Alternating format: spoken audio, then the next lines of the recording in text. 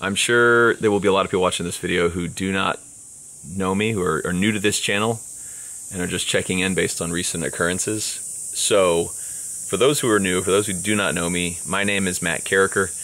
I am a Texas based YouTuber, and this is my YouTube channel. Um, Demolition Ranch is a firearms centered channel. I also have um, Off the Ranch Matt Carriker channel, which is a, a vlog type channel. And then I'm also a veterinarian, and so I have Vet Ranch, which is a veterinary centered channel. And across the board, across all of my videos, we really don't talk about politics at all. We keep politics out of it. For one, it's not my bread and butter, but also I don't feel the need to impose my political views and beliefs on other people. And so we generally just stay away from the topic of politics. However, we were obviously kind of thrust into the conversation after last weekend. So, before I go any further, to the family of the victim who died during the Trump shooting, uh, man, I'm so sorry for your loss. It's terrible, and I, I hate that that happened to him and to you guys. And you know, wishing wishing you guys the best from here. It's that's the worst for those who were injured in the shooting as well. Wishing you guys um, a speedy recovery, praying for pain free recovery for you as well, both physically and mentally. I can't imagine. So, as a lot of you guys know, um, and we were shocked and confused to, to find this out, the shooter who tried to assassinate Trump was wearing merch from my channel wearing a, a Demolition Ranch t shirt. And that sucked to see that. Yeah, that was that was rough. So this this T-shirt, we also own a T-shirt company, um, and it's based out of this my hometown right here, and my friends work there, and we we make these shirts. We print them here in Texas and ship them all over the world. Uh, I've seen my shirts in every continent. I got a picture like two weeks ago of a guy wearing my shirt in Antarctica.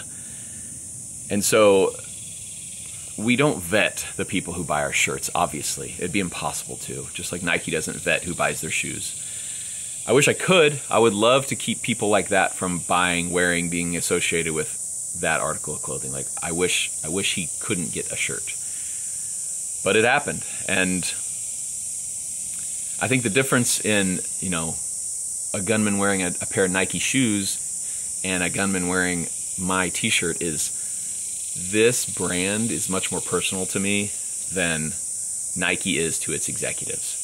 And so to see my name next to the shooter's name, oh, it sucks. And I wish I wish we could keep that from happening. So, no matter what side you're on politically, none of us want violence this channel was never meant to incite violence or hate. It never has, it isn't, and it never will be a channel that does that.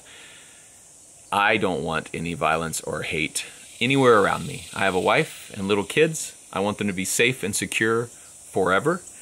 And the videos I put out, I want to make sure that is the same for everyone who watches my videos, that they aren't in any more danger because of my videos, of course. And I know you guys know that. I have 11 million subscribers who have been watching me for over 10 years and know that I am uh, not that kind of person. This is mostly for the people who are just tuning in to see if I am a guy that is trying to make people do stuff like that. So, I am not. Uh, obviously, I don't have to explain that to you guys who know me, but I, I feel like I might need to say that for those who don't. This channel is not about violence. This channel will never be, and uh, we never would condone that at all. I hate that. It's a weird, a weird deal, and yeah, have I have news articles calling me, asking for interviews, asking what I know about the shooter, asking if I've ever had any communication with the shooter, if I've ever met him. No, he bought a shirt online, and unfortunately wore it that day.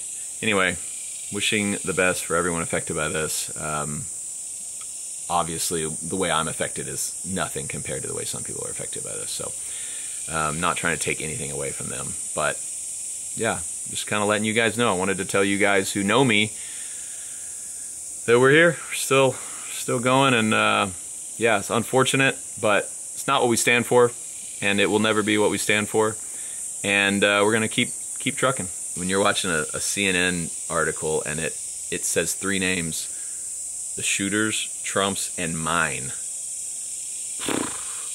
That was not on my 2024 bingo card. So, uh, yeah, I'm going to end this video. Let's move forward. And um, thank you guys for listening. Thanks for watching. And most of all, thanks for the support. I love you, and I'll see you next time.